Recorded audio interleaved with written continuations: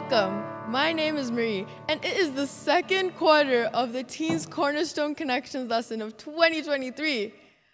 In lesson three, we have Baraka on the mission stories. In the orchestra, we have Shadrach on the piano, Lee on the saxophone, Subira on the clarinet, Amy and myself on the violin. Lastly, we have the Sabbath School panel, which is done by the Nairobi Central Teens, along with their teen teachers. Enjoy!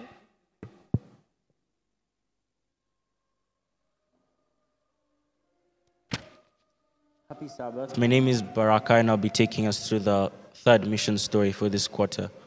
Like the previous story, it also comes from the country of Romania, and I'll start off by giving some interesting facts about Romania. Romania has one of the world's fastest internet speeds at 260 MBs per second. It's home to the largest rock sculpture in Europe that measures 55 meters in height. And Romania is the world's main producer of plums and among the largest maize producers in the European Union.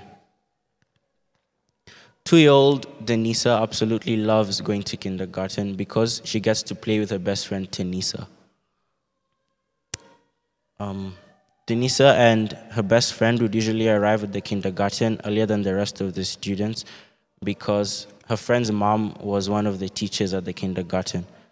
They'd play together, however, when the other kids started to arrive, um, and her friend would go off and start playing with the other children, this made Denisa sad, and she'd begin to cry because she didn't like it when her friend played with other children.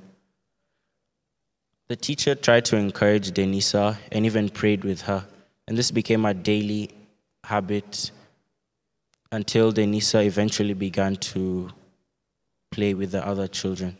She continued to pray with the teacher every single day and developed a habit of praying. Within the next year, Denisa began to go to church with her best friend and her mom and she had completely changed and began to interact with other students as well.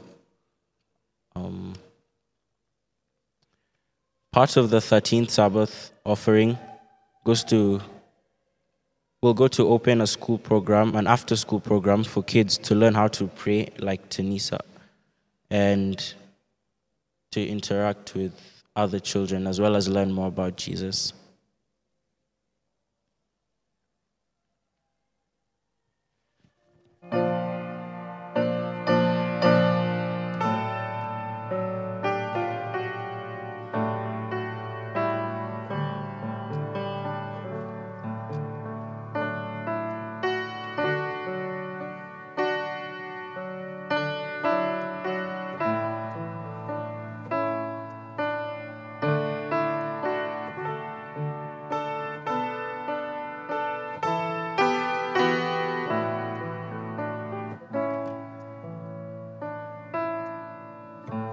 Welcome, dear viewers, to our lesson three of the Teens Cornerstone Connection lesson.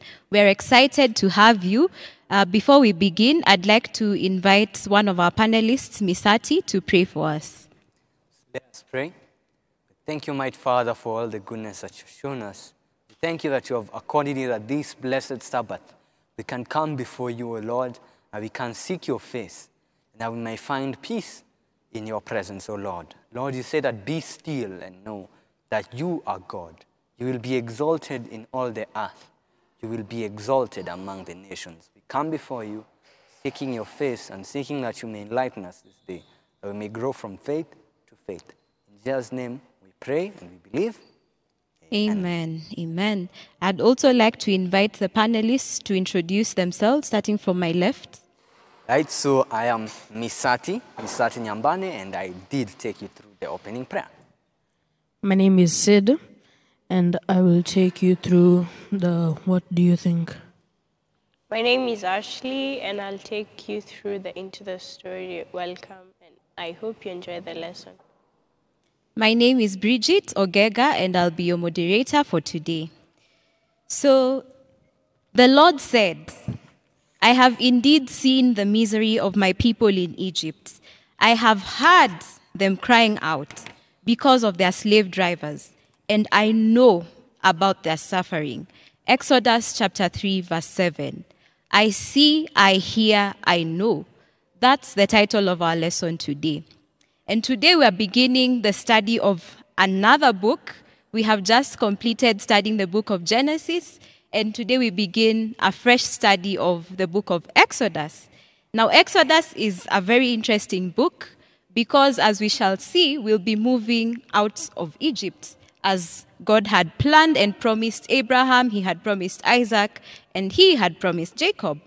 And so, even as we begin, today we'll be seeing the kind of character that God has towards us, His people, though we are sinners. And we will see how God yearns to deliver us, His people, just as He delivered the Israelites.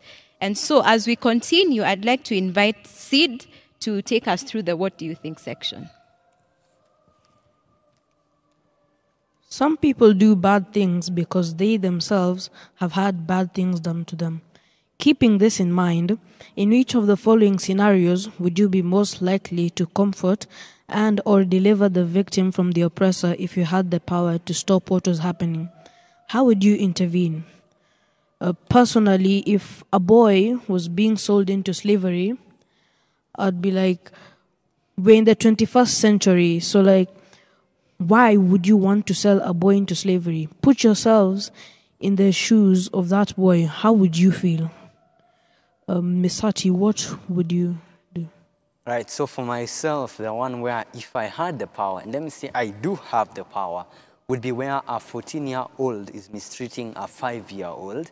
I find it at the very essence of all our problems starts with those formative years. If the 5 year old can end up thinking that being mistreated by someone who is in a position of authority is all right, I believe that's where all these other issues stem from. So I would want to nip this in the bud, that is. Amen. Um, maybe I'd like to ask Misati to also read for us Hebrews chapter 4, verse 15.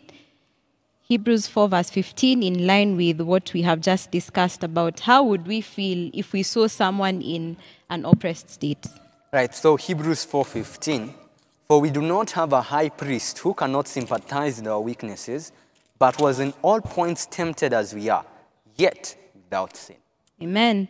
And so we're reminded that Jesus Christ Himself, He went through the oppression that maybe some of us are going through in this day and age.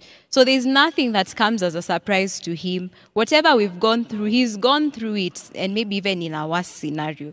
So that's that's a lesson we're learning. And even if you read Romans chapter 12, verse 19, we're encouraged that um, we should not be the ones to avenge, but we should leave vengeance to God. So even as we seek to help people around us who are oppressed, remember that it is not your role to be the one seeking revenge. Leave revenge to God, for He is indeed the only person, the only one who should be able to, to um, give revenge.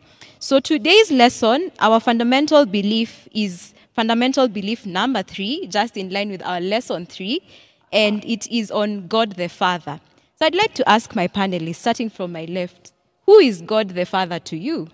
Right, so to me, God the Father in my mind is perfect, in that God is holy, but not in essence the way we would see perfection or holiness, is that God is so very good and that God desires the very best for his creatures. Amen. That is, and something that strikes me is that even though Lucifer has sinned, has fallen, has brought so much sin upon our world, God still loves him. Amen. What about you, Sid? Uh, to me, God is immortal. Like most, let's say, everyone on earth will live, let's say, maybe 72, 73 years, then die. But as for God, God is immortal. He can never die. Like, he can't die. Amen. What about you, Ashley? Um, for me, the, f- the, the, the part that appeals to me, the character trait of God the Father that appeals to me is God is long suffering, patient, compassionate. You know, I would want to take that and vouch for myself and say, you know, I'm stubborn, but because God is patient and compassionate, He'll have mercy. But that is not the side I look at. I look at God from He's long suffering, compassionate, seeing that we are sinners. We fall seven times over the same thing, and He still has the, the, the, the, the loving, the, the intent, kindness of heart in His heart to pick us up and say, My child, you can still walk, and I am with you. God is just God. Amen. Amen.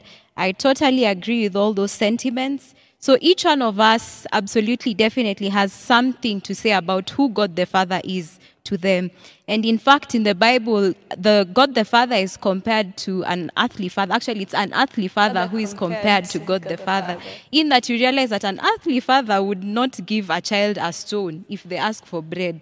Now you can imagine how much more our earthly, our heavenly Father, who is longing to open His storehouse of blessings to bless us with, you know, so many things, if only we ask. So God the Father is indeed compassionate. He is loving. He is everything that we have said, and so that is our fundamental belief for today.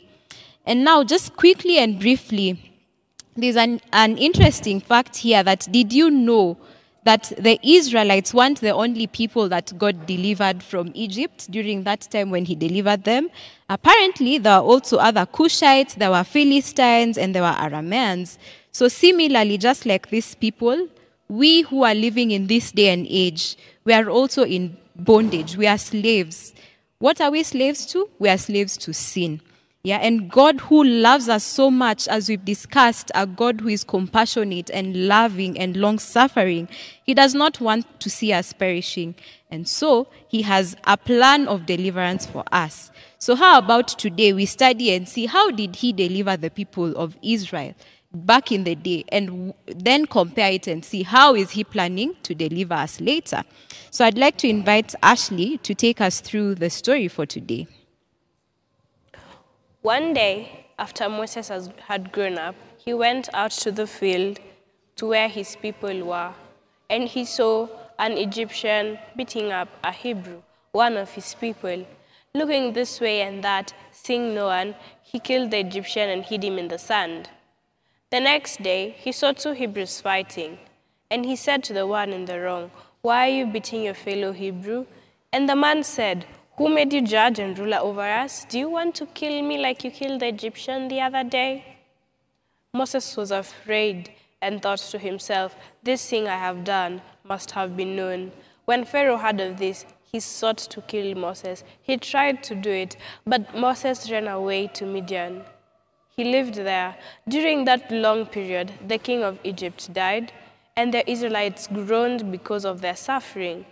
God heard their groaning, and their cry went up to him, and he remembered his covenant with Abraham, and with Isaac, and with Jacob, and he was concerned about them. Now Moses was tending the flock of his father in law Jethro, a priest of Midian. And he led the flock to the far wilderness when he came to Horeb, the mount of God. Then the angel of the Lord appeared to him in a bush, in a burning bush, and he heard God call and say, Moses, Moses. And he said, I am here. Do not come any closer, God said, for the place where you are, take off your sandals, for the place where you are standing is holy ground. Then he said, I am the God of your fathers, the God of Abraham, the God of Isaac, the God of Jacob. And I have heard the crying out of my people for their slave drivers. At this, Moses covered his face, for he was afraid to look at God. I have indeed seen the misery of my people in Egypt, and I am concerned about their suffering. So I have come down to rescue them out of the hand, up out of the land of the Egyptians to a good and spacious land, a land flowing with milk and honey. And now the cry of the Israelites has reached me, and I have seen the way the Egyptians are oppressing them. So now go, I am sending you. Go to Pharaoh, bring my people, the Israelites, out of Egypt. But Moses said to God, Who am I that I should go to Pharaoh, and that I should bring the Israelites out of Egypt? And God said to him, Go, for I am with you. Amen. So today's excerpt is from uh, Exodus from chapter 1 to chapter 4. that's what um, Ashley has just taken us through. And I believe um, we'll also just go through some of the questions. So, Ashley. One of the questions in this um, phrase I'd like us to ask ourselves is what does it mean to you to have a God who hears, a God who sees and knows what you're doing? Sid, what do you think? Um, to have a God who hears, sees, and knows what you're doing makes me feel like I'm being protected from like all evil or harm, and uh, also that He's giving us a choice on whether we we will uh, follow Him or uh, we will take our own path. And for me, having such a God makes me realize that whatever I do, that God sees what I do and he will reward me what I do. And even in the time when I feel confused, I know that God neither sleeps nor slumbers. And he is there with me even when I feel that the darkness is so dark. Amen. For me, it is an encouragement that I will never have to walk alone in this life. Sometimes life can weigh you down. The burdens of this life can really weigh you down, even as teenagers. You know, small things such as, you know, uh, maybe you didn't get that A in that test, or maybe that friend of yours went and backbited you, if there's a word like that, yes. So backbeat you, yes. Uh, so really, it is an encouragement that truly um, God is, you know, always there for me, even in trials and temptations. Yes. Yes. So, um, what major lessons do we see in this story, other than um, the the fact that we have a God who hears, who sees, and knows? A lesson I see very prominently is when we come to Moses. And Moses strikes me as a very fascinating character is because this man is tending sheep. Then, as he is tending sheep, he sees there's a bush here that's burning, that's not burning. So he's like to his head, ah, let me go look at this bush that is burning, that is not burning. So he turns aside to see the bush that is burning, but not burning. And this shows me that Moses' intellectual curiosity, that he was curious at this sight. That is, he never assumed it as some supernatural thing or some freak of nature, but that he was so curious to learn, like, what is this that I see here that intrigues me so? Amen. So, dear viewers, we'll just go on a break as we get a hymn and we'll be right back to proceed with the lesson.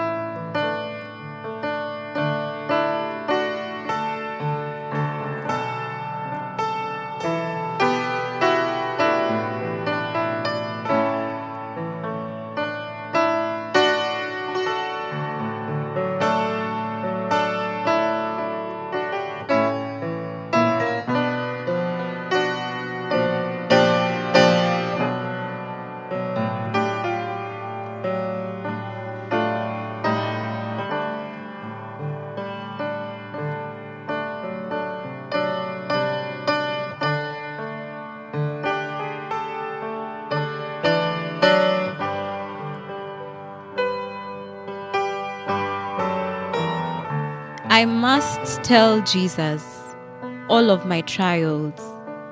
In line with our lesson today, for I see, I hear, and I know, we see that Jesus Christ is the friend whom we can tell all of our burdens, all of our sorrows, and He's the only one who will be able to bear them. Even if I ask any one of you if you've ever told someone a burden and they've borne it fully to the extent that you felt like it was well born, it may be difficult to have found an individual as a human being who could have borne a burden as well as Jesus Christ will do it for you. And therefore, it is an encouragement to you, dear viewer, that Jesus is the only one who can bear even that burden that you find hard to tell, even your closest friend. Yes. Before we went on the break, we were discussing the lessons that we have learned from our session today. So maybe we can continue with that. Sid, what are some of the lessons you've learned from our lesson today? Uh, one major lesson that I saw emerge in this story is um, the story of the midwives and uh, how they were told to kill all the sons, but they didn't because they were God fearing and they respected God, and they didn't they didn't want to you know kill any of the children. And to interject right there, something I find interesting with this story here is the midwives give a very fascinating excuse. The excuse is the Hebrew women are strong. So even before we go in to deliver them, they have already delivered themselves. I think in the Pharaoh's mind, it was like, eh, hey, Uongo, Uongo. But they are the ones with the experience, so who am I to argue? And I'm not going to that delivery room, you know? So I just said, so be it. Amen. And in case you have ever wondered what fearing God means, as Sid and Misati have told us, fearing God is keeping his commandments. Just as he said, the midwives were expected to kill all the sons who were born. But in contrary, they decided to actually, you know, preserve their lives and therefore they did the will of God. So fearing God is not just, you know, um, saying that I am a God fearing person. You have to act by actually keeping and obeying his commandments. Any other lessons, Ashley? Yeah, just to add on that, you know, we can do small things in a big way. They did what they could at their, what, what was at their disposal. You know, they would have said, you know, we can go against Pharaoh, go against this decree, but they would have lost their lives. But at where they were, at the positions they occupied, they helped the country. And then um, one other lesson I learned was Moses felt insufficient. And he said, Lord, who am I that I should go to Pharaoh and bring the Israelites out of Egypt? And God said, Go, for I am with you. That alone showed that Moses was humble enough to ask for God's assistance, and for God's strength is made perfect in our weakness. Amen. And I also just want to bring out um, an important aspect from the lesson that even in the passage we have seen that before Moses killed the Egyptian, he had to look and see if there was anyone else watching him. And seeing that there was no one else, he decided to execute his plan. And so we see two important things. One is the folly of taking things, um, matter, our, God's matters into our own hands. And we see that even from Jacob's story, we see that even from Abraham's story. And it is, it is very important for us to notice that we should not take uh, matters into our own hands when God has a different plan for us. And another thing, and the last thing that I want to say on that point is that as teenagers, sometimes we may want to do things uh, after confirming that no one is looking at us. Yeah, you look around and you're like, oh, no one will know. Yeah, so it is a message to us to remember that we have a God who sees, we have a God who hears, and we have a God who knows. Therefore, we should be accountable. So at this point, I'd like to invite Sid to take us through the key text um, as we proceed. The key text is coming from Exodus chapter 3, verse 7. The Lord said, I have indeed seen the misery of my people in Egypt. I have heard them crying out because of their slave drivers, and I am concerned about their suffering. Amen. So the question is Have you ever wondered if God really knows what it feels like to be sad or maybe even to be a victim? So maybe I could throw it to Ashley.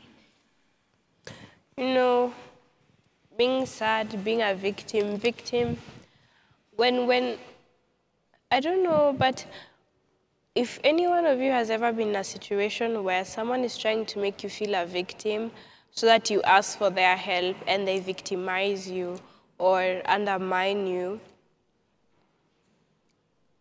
it's, it's, not, it's not a laughing matter. It's not something that is funny.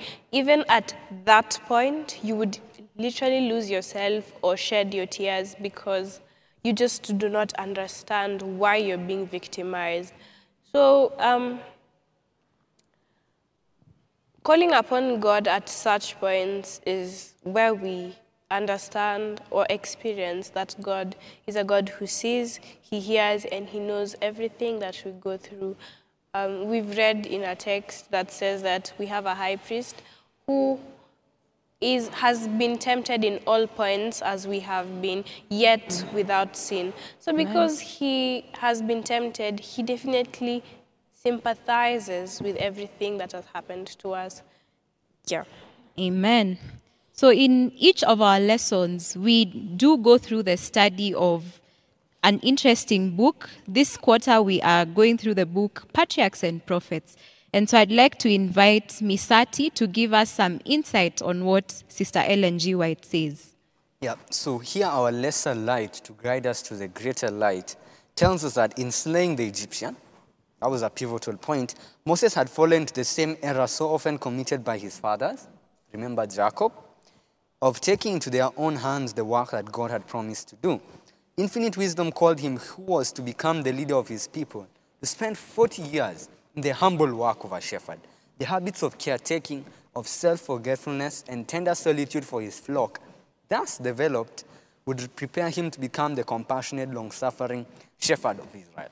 So right here, we have a very interesting narrative that presents itself. We have Moses. Now, Moses was the Pharaoh's daughter. He was his mother's daughter, but he was also the Pharaoh's daughter by, by adoption.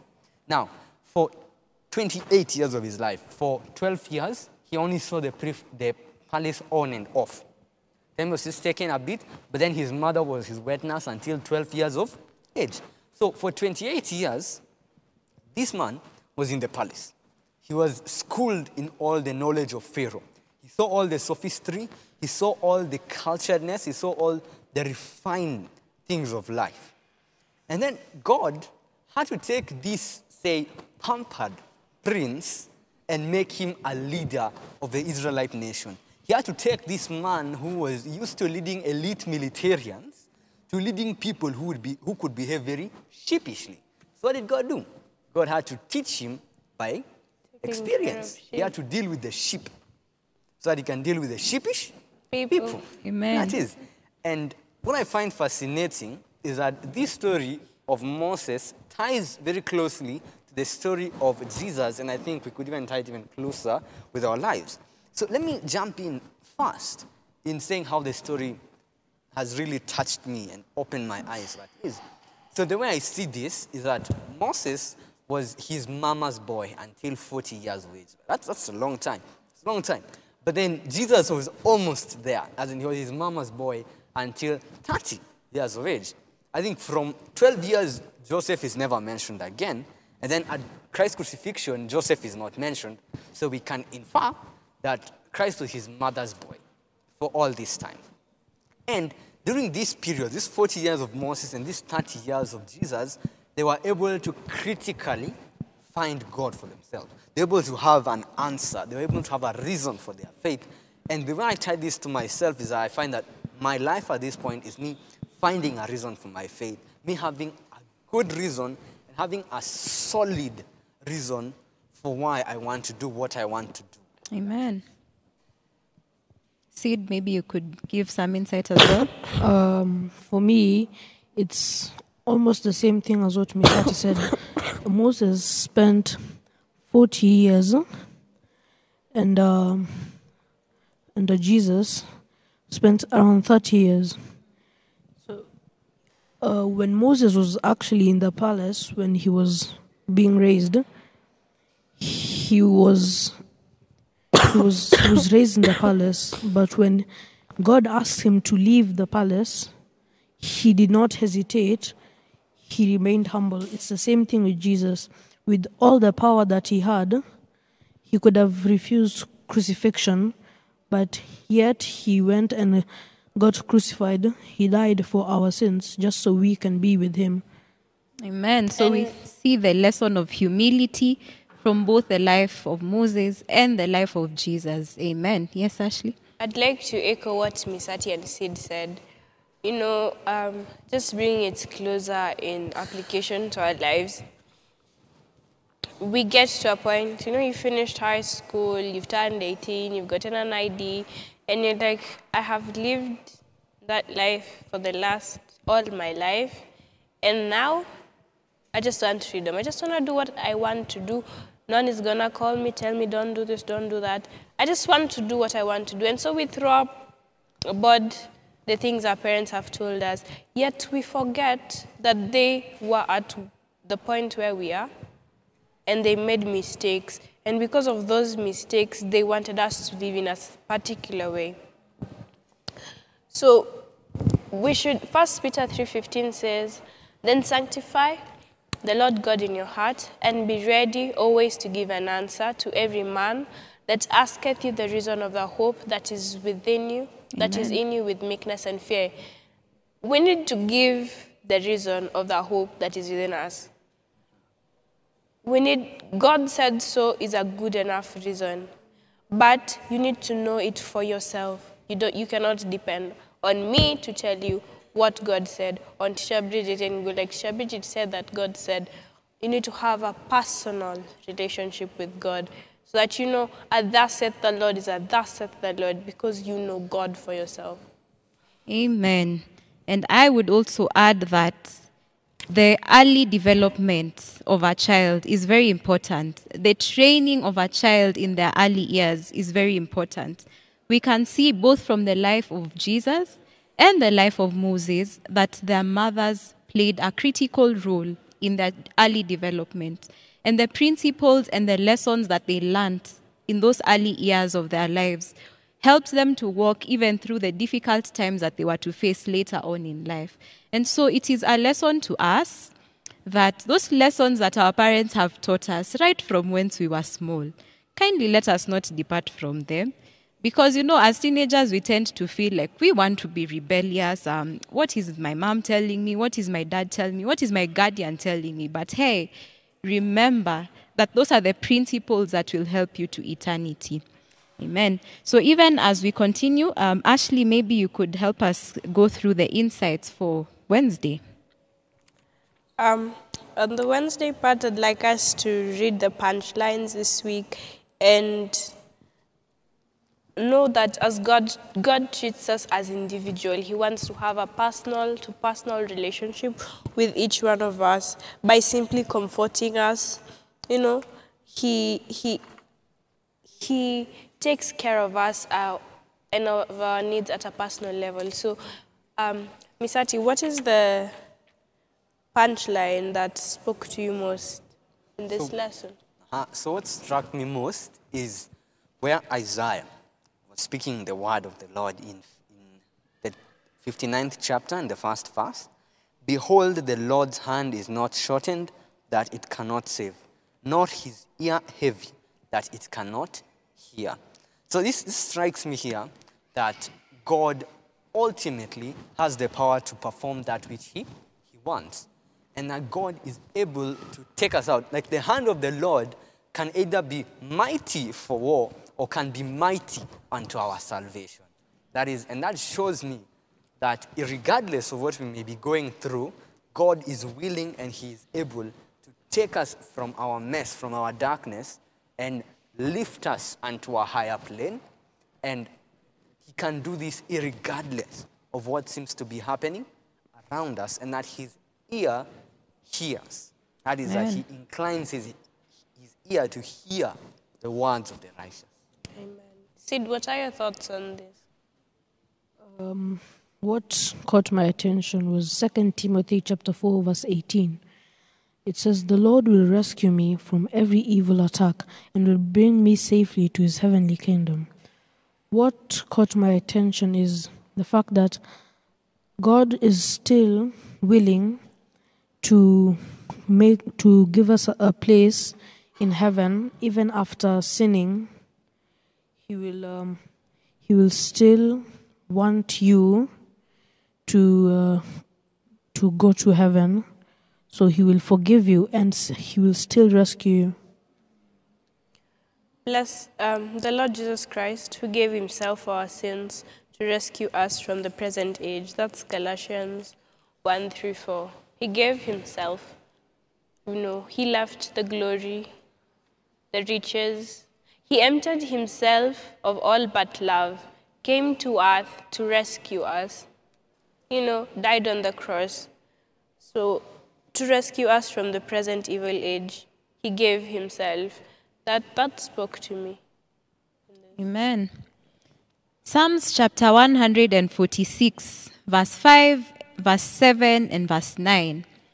Blessed are those whose help is the God of Jacob, whose hope is in the Lord their God. He upholds the cause of the oppressed and gives food to the hungry. The Lord sets prisoners free. The Lord gives sight to the blind. The Lord uplifts those who are bowed down. The Lord watches over the foreigner and sustains the fatherless and the widow. In summary, God sees, God knows, and God hears. So even as we come to a conclusion, we have the issue of excuses. We can see very clearly from the story of Moses, as much as we've seen that he was brought up, you know, very well with a mom who was a, quite a good role model to him, as much as he was in the palace and he was trained with all these, you know, palatial issues and great things, there's still an issue when God came to call him. Yeah, he started asking, okay, so who am I that you want to send me to Pharaoh? Then he also went ahead to say, okay, so if I go, what am I supposed to tell this Pharaoh who is who has sent me? And he had more and more excuses. And I just want to ask a question. As teenagers, do we sometimes, like Moses, pose excuses when we have been, you know, maybe given a task? And why or why why do you feel we pose these excuses? So do we pose those excuses and maybe could maybe one of us share an instance, for example? Okay, um, we do pose instances. I remember once when I was wondering what my calling would be in this life. And, and my mother was saying, You can be a missionary. My dad was saying, You can do medicine. I felt that, yeah, I've been called to stand out, not to be the same, you know, to live for what I believe, no matter the cost. But I quickly came up with an excuse no, Lord, you know, I cannot do that. Why do I just always have to be different? Why can't I just have an ordinary life, live like everyone else? And, and to be honest, I still don't think I can be a missionary.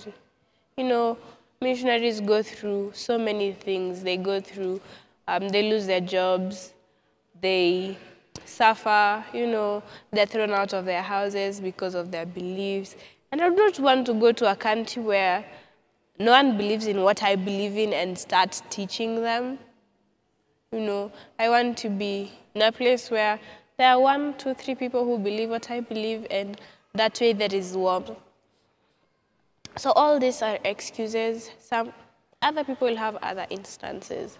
So what God says is go, for I will be with you.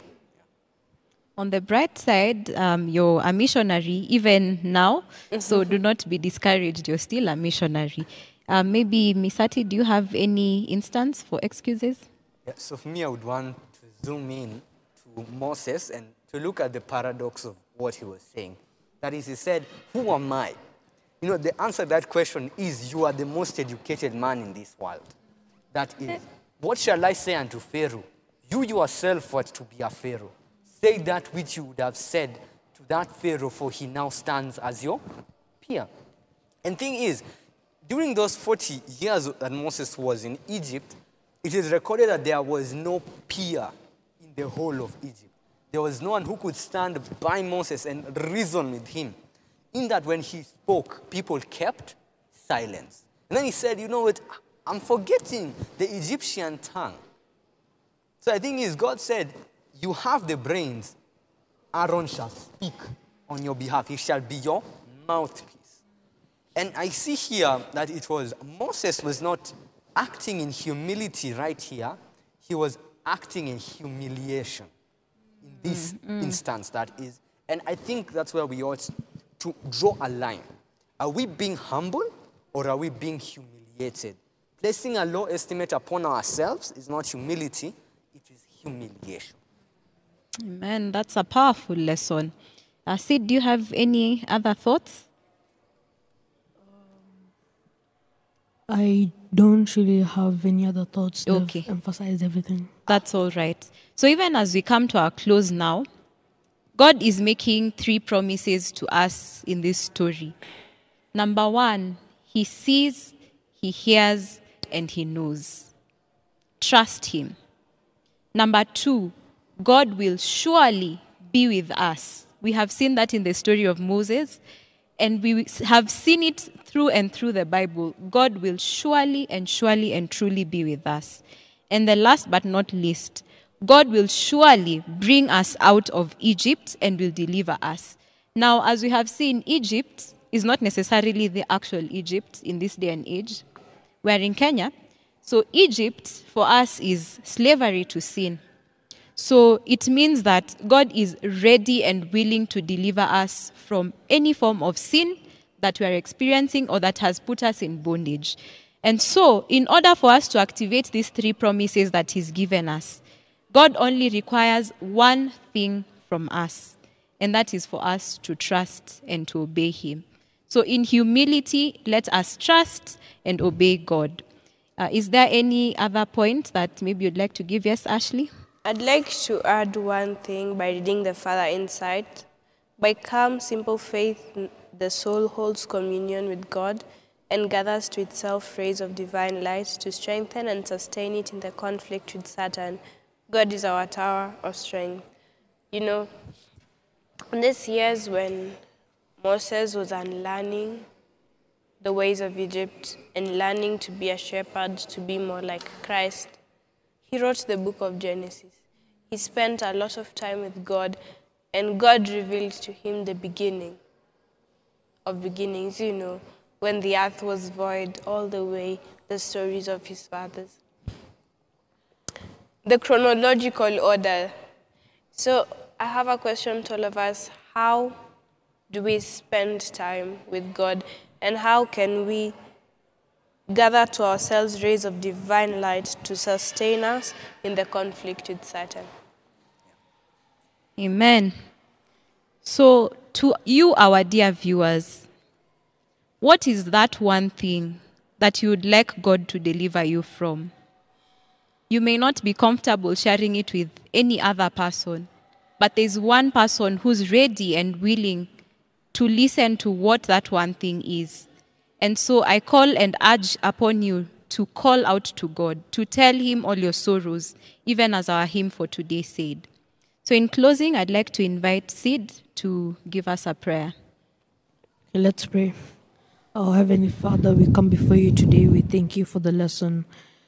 We pray that all the viewers have understood and uh, as you may protect them all through the day.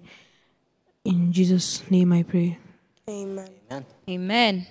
We'd like to invite you for our next lesson, which is lesson four entitled Apply the Blood. See you next time.